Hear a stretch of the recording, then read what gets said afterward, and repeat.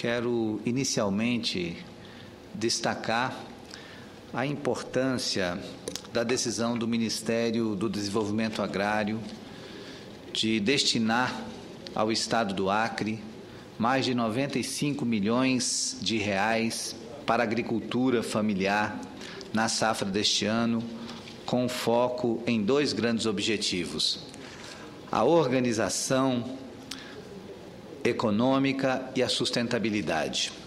A liberação desses recursos faz parte de um conjunto de políticas públicas e investimentos do Plano Safra da Agricultura Familiar 2012-2013, que foram anunciados na última sexta-feira, dia 24, pelo próprio ministro do Desenvolvimento Agrário, ministro Pepe Vargas, em Rio Branco. É, vale ressaltar que o Plano Safra 2012-2013 prevê para todo o Brasil um investimento de 18 bilhões de reais para o fortalecimento da agricultura familiar. E para o estado do Acre, o ministro Pepe Vargas anunciou ah, 95 milhões, é, que serão operacionalizados através do Banco do Brasil é, e do Banco da, da Amazônia. E as operações de crédito para o agricultor familiar é, terão juros subsidiados entre meio e 4% ao ano. E na ocasião, feita toda a exposição que o ministro fez com muita competência, mostrando os passos todos que estão sendo dados em relação aos investimentos para o fortalecimento da agricultura e da reforma agrária é, eu tive a oportunidade de fazer uma saudação ao ministro e disse a ele que nós estamos vivendo uma, uma segunda revolução no Acre, porque o gaúcho José Plácido de Castro fez a primeira revolução ao conquistar as terras do Acre para o Brasil. E naquele momento, com a presença do ministro Pepe Vargas, estava acontecendo também uma espécie de revolução na produção agrícola do Estado, porque não só os investimentos anunciados pelo ministro Pepe Vargas, mas principalmente o esforço que está sendo feito pelo governador Tião Viana, é, no sentido de promover um grande movimento de mecanização agrícola e de fortalecimento do setor produtivo. Então, tem uma infinidade de ações que estão acontecendo nesse momento e exatamente por isso eu disse ao ministro que ele estava fazendo parte de uma segunda etapa, de uma segunda revolução é, a, a, para o setor produtivo do Estado do Acre. Dos 95 milhões destinados ao Acre, 85 milhões serão utilizados em ações do Programa Nacional de Fortalecimento da Agricultura Familiar, o PRONAF. Esse total é 15 milhões superior ao previsto para o Plano é, Safra da Agricultura Familiar 2011-2012.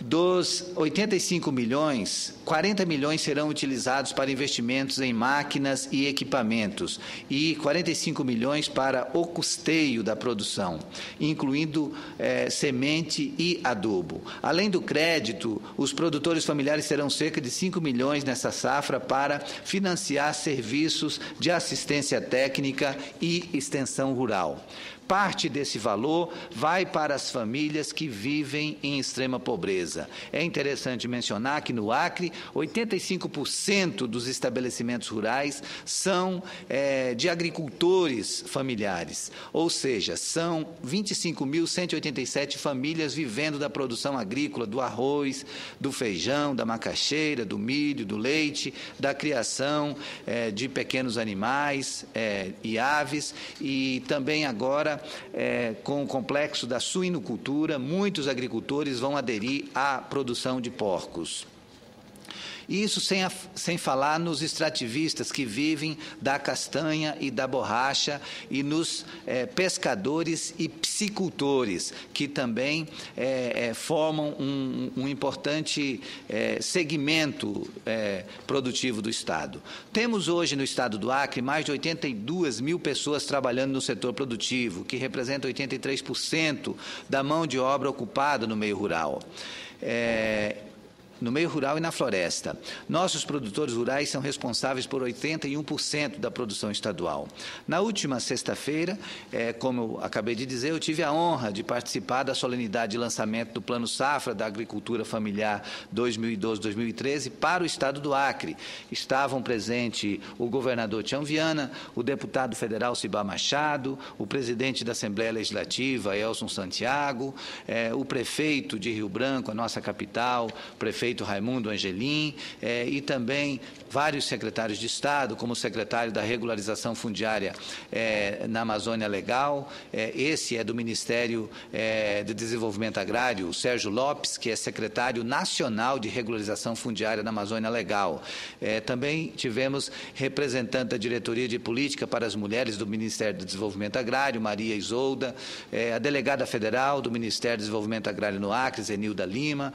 também o superintendente do INCRA no Acre, Taumaturgo Neto, e do coordenador do programa Terra Legal no Acre, Antônio Brana. E entre os secretários de Estado é, presentes, é, quero destacar aqui a presença do secretário Lorival Marques, que é o secretário da CIATEC, que cuida de, de toda a parte produtiva do Estado, e também o secretário de Indústria e Comércio, Edivaldo Magalhães. É, a todos cabe o nosso reconhecimento, porque verdadeiramente tem se empenhado ao máximo para a produção é, é, desse resultado. Além da liberação dos recursos, que sabemos ser essencial, quero ressaltar ainda as medidas estratégicas previstas no novo plano, entre elas a garantia de compra da produção do pequeno produtor e as ações de estímulo à tecnologia, à melhoria do plantio e à criação de animais. São investimentos que provocarão uma mudança expressiva no cenário econômico do país e principalmente no nosso estado do Acre.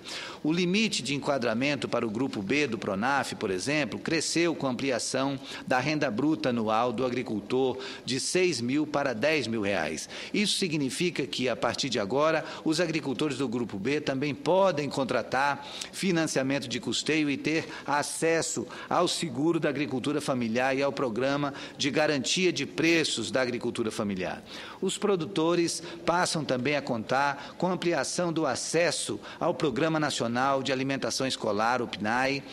é, cujo limite de compras da agricultura familiar para alimentação escolar é, foi ampliado de 9 mil reais para 20 mil reais por agricultor por ano. Isso é um incremento muito importante, senador Pai. Imagine um agricultor familiar que podia vender até 9 mil reais é, é, por ano para alimentação escolar, ele pode, ele, ele teve esse, esse seu limite ampliado para até 20 mil reais. Outra modalidade de compra de alimentos, a compra institucional, permite que órgãos ou entidades da administração pública federal, estadual, distrital, municipal comprem da agricultura familiar com seus próprios recursos, usando as regras do programa de aquisição de alimentos. Com isso, hospitais é, e penitenciárias, por exemplo, poderão negociar diretamente com quem produz. Este avanço resultará em mais mercado e mais renda para a agricultura familiar, porque vai é, fazer uma negociação direta, sem o atravessador. Também citamos aqui é, que no Plano Safra 2012-2013, o seguro da agricultura familiar passa a cobrir até 7 mil reais de renda, além de assegurar a quitação do financiamento contratado em caso de adversidades climáticas. O seguro vai garantir também que o agricultor possa ter condições de chegar à próxima oportunidade de plantio. No Acre, além dos recursos do Plano Safra da Agricultura Familiar 2012-2013, foram firmados outros convênios de incentivo ao desenvolvimento rural é, entre eles uma biblioteca rural do programa Arca das Leituras do Ministério do Desenvolvimento, do Desenvolvimento Agrário. Esse programa foi criado em 2003 para incentivar a leitura no meio rural, implantar bibliotecas e formar agentes de leitura nos assentamentos é, de reforma agrária. Atualmente, um total de 21 municípios acrianos já recebeu bibliotecas rurais é, que têm beneficiado é, diretamente 59 mil mil famílias, com pelo menos 63 mil títulos eh, já distribuídos. Cito ainda com satisfação o lançamento do projeto Fortalecimento da Cidadania e Organização Produtiva de Mulheres Rurais do Acre. Esta é outra parceria entre o Ministério do Desenvolvimento Agrário e o Governo do Acre, que tem por objetivo fortalecer a cidadania e a organização produtiva de mulheres rurais. Por meio dessa medida, serão beneficiadas 9.200 mulheres em todo o Estado, com investimentos de 2,4 milhões. Destaco ainda o esforço contínuo do governo estadual no fortalecimento da economia regional. No início do último mês eh, de junho, foi feita a maior entrega de equipamentos agrícolas da história do Acre, um total de 364 máquinas agrícolas para melhorar a agricultura familiar no Estado. Essas máquinas eh, são destinadas à, à mecanização agrícola e à construção de tanques e açudes para o programa de piscicultura. Cito ainda a entrega de títulos definitivos de propriedades, os títulos rurais do programa Terra Legal e de títulos do Instituto de Terras do Acre, Teracre, e os avanços do programa estadual de piscicultura. Estamos andando a passos largos com esse programa de piscicultura que vai revolucionar o setor com resultados significativos, principalmente quando estiver em funcionamento, eh, já no ano que vem, o complexo industrial da piscicultura que está sendo construído na BR-364, no município do Senador Guiomar. No local, haverá um centro de alevinagem com capacidade para a produção de 20 milhões de alevinos por ano, uma fábrica de ração e um moderno frigorífico de peixe com potencial para processar 20 mil toneladas por ano. Imagine o impacto positivo dessas medidas na geração de emprego e renda entre os trabalhadores rurais. Esse programa também tem o apoio do governo federal. É, vale ressaltar que esse ano mesmo nós tivemos a liberação de emenda de apoio a, ao programa de piscicultura no estado do Acre, que já tem a plena solidariedade do ministro da Pesca e Aquicultura, o ministro Marcelo Crivella. Neste mês também tive a oportunidade de conhecer as instalações da unidade de produção de suínos Dom Porquito, inaugurada na Estrada do Pacífico, no município de Brasileia. Essa unidade, dentro de dois anos, é, terá investimentos da ordem de 50 milhões para toda a cadeia produtiva, que envolverá cerca de 100 produtores eh, familiares eh, do Estado. O empreendimento é privado, mas tem total apoio do governo do Estado e demonstra eh, o, a, a, o quanto os os empresários estão acreditando nesse, nessa essa disposição do governo em investir no setor produtivo, é, e principalmente porque com a ligação do Acre é, com os portos do Pacífico, nós teremos ali uma grande possibilidade de exportação desses produtos para países vizinhos como o Peru e a Bolívia.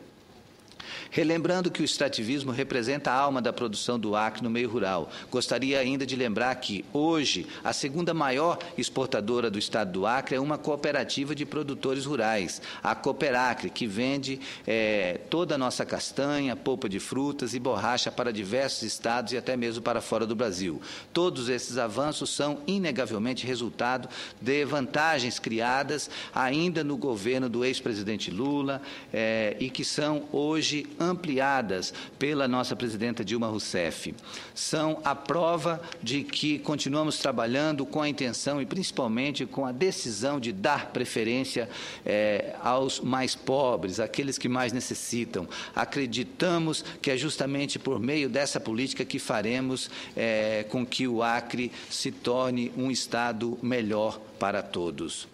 Feito esse registro, senhor presidente, gostaria de tratar de um outro assunto que considero importante, que foi é, a divulgação no último sábado da pesquisa eleitoral realizada pelo Instituto Ibope é, é, para Rio Branco, a capital do estado do Acre. Por que, que eu trago este assunto aqui? Já tinha trazido na semana passada. Exatamente porque o candidato é, Tião Bocalão, do PSDB, havia entrado na justiça para impedir que os resultados da pesquisa Ibope fossem é, conhecidos do público, mas a, o Ibope entrou com, com uma reconsideração na Justiça e obteve autorização para publicação. Como já fiz referência na semana passada, neste plenário, o candidato Tião Bocalon é, por meio, é, entrou na Justiça Eleitoral para impedir que os números da pesquisa chegassem à opinião pública. No entanto, a verdade veio à tona e a população acabou tomando conhecimento do que o Ibope apurou. O candidato do PT e da Frente Popular, Marcos Alexandre, está com 38% das intenções de voto, enquanto que o candidato Tião Bocalon, do PSDB, aparece com 37% das intenções de voto. Em terceiro é, está o candidato do PMDB, Fernando Melo, com 5%. E os demais candidatos somam juntos 5%, sem contabilizar os indecisos, brancos ou nulos. É, o fato que tentou ser escondido pelo é, candidato Tião Bocalon é que o candidato do PT e da Frente Popular à Prefeitura da Capital, Marcos Alexandre, está na frente, ou seja, ele está com 38 contra 37% dos votos. É, ainda que seja tecnicamente empatado, é, isso é muito significativo, porque é, o Marcos Alexandre é um jovem estreante na política, é, o, é sua primeira disputa eleitoral. É, no início, parecia que Tião Bocalon ganharia com muita facilidade a, as eleições e hoje nós temos o quadro já embolado com empate técnico entre é, Marcos Alexandre e é, é, Tião Bocalon. E a continuar essa razão de subida do candidato Marcos Alexandre, é, é possível que ele tenha é, é, é, um distanciamento importante nos próximos dias. Mas números são apenas números, refletem apenas a realidade, é, é, a radiografia de um momento. então, mostrar os números e fazer com que a população tenha acesso a essas informações é algo absolutamente natural. O que não foi natural, reitero, foi a postura autoritária do senhor Tião Bocalon, que não é, é, está sintonizado com esse momento democrático da vida brasileira. É, nós temos é, total é, é, tranquilidade em dizer isso, porque convivemos aqui no Senado com oposição, com pessoas da oposição, senadores dos mais diferentes matizes ideológicos, e temos uma convivência pacífica. Mas esse clima de intolerância que tenta ser colocado a ferro e fogo por pessoas como é, o candidato Tião Bocalon lá em Rio Branco é algo que é preocupante, é inadmissível é, e não pode ter guarida sob o risco de criar um ambiente de instabilidade, animosidade, com o qual fica muito difícil conviver. Por isso, faço questão de trazer esse assunto aqui para o plenário do Senado, onde temos a convivência salutar com senadores de todos os partidos, com divergências de opinião, mas sempre com muito respeito à democracia democracia. Por isso, manifesto hoje minha satisfação é, pelo fato de os números da pesquisa IBOP é, ter chegado ao conhecimento do, do eleitor de Rio Branco, é, que neste momento está apenas é, na fase inicial do programa de rádio e televisão e que tem todo o tempo daqui até o dia 7 de outubro para que os candidatos revejam suas estratégias e é, é, procurem encontrar uma forma de convencer o eleitor com a verdade, com propostas, no sentido de se tornar o, o escolhido dos eleitores. Não adianta querer guerrear contra os números, contra aquilo que é, é, transparência pública não, não teria nenhuma possibilidade de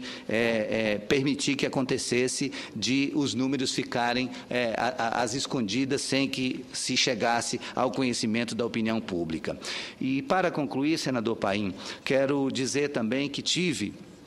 é, a exemplo dos demais senadores que têm é, é, acompanhado a, a, situação eleitoral nas suas bases, eu estive é, na semana passada em vários municípios, fizemos uma agenda muito importante e quero destacar aqui que é, o Partido dos Trabalhadores está muito bem é, em todos os municípios onde está disputando. A gente tem 22 municípios no Acre e estamos lutando para termos a maioria dos municípios é, é, na última eleição a gente elegeu 12 municípios, é, 12 prefeitos do PT e mais alguns outros de partidos aliados, e a gente quer ver se consegue ampliar ainda essa posição nessas eleições de 2012. E vale ressaltar que, além dos candidatos jovens que o Partido dos Trabalhadores apresentou, como é, o Marcos Alexandre em Rio Branco, que é um jovem, é, o doutor Rodrigo em Tarabacá, que é outro jovem, Marcos Fernando em Brasileia, que é um outro candidato jovem, o Marcelo Siqueira, que é vice é, do candidato do PV em Cruzeiro do Sul, Marcelo Siqueira também um jovem, professor universitário. É, nós temos também outros jovens que, aparecer, que vieram de outros partidos, como em Sena Madureira, nós temos, é, Sena Madureira é o terceiro maior colégio eleitoral do Estado e temos um jovem do PR é, que está sendo apoiado pelo Partido dos Trabalhadores, é um jovem é, do PR, o Mano Rufino, tendo como vice um candidato do PS, é, do, do PCdoB, é, é, o Hermano Filho. E em Sena Madureira também temos uma chapa que representa o novo, a possibilidade de é, uma nova discussão, uma discussão diferente a respeito das possibilidades daquele município município que fica em plena BR-364, que é, já tem uma ligação e vai ter concluída essa pavimentação até Cruzeiro do Sul, então tem tudo para um, um, uma grande perspectiva de desenvolvimento e que tem uma política muito, muito atrasada, muito é, cheia de. É, de, de amarras que não permitem o desenvolvimento acontecer. Então, com esse jovem Mano Rufino, que está com todo o gás fazendo é, é, as visitas de casa em casa, a conversa com os eleitores, a, o debate sobre as propostas, a gente acredita que Sena Madureira também vai entrar é, nesse ritmo de desenvolvimento que está é, presente em todo o estado do Acre e, e, tenho certeza que vai ser algo muito bom é, para uh, o povo de Sena Madureira é, se acontecer esse envolvimento nessa campanha, é, participando diretamente dos debates e, na medida do possível, acompanhando esse momento que está acontecendo lá com esse jovem é, Mano Rufino como candidato da Frente Popular pelo partido